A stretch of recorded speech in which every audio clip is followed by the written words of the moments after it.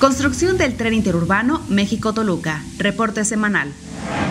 Tramo 3, 17 kilómetros. Avance de obra 56.4%.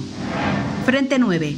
Una vez terminada la colocación del acero en el apoyo 137, se instalan los elementos de forma para el colado de concreto. Estación Vasco de Quiroga.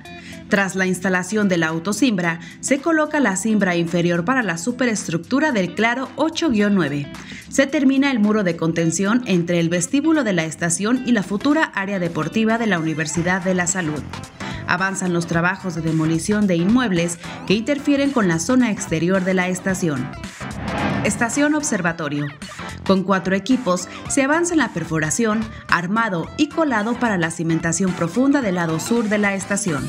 En esta estación se construirá un centro de transferencia modal para el intercambio de pasajeros entre el tren interurbano, las líneas 1 y 12 del metro y la central camionera del Poniente.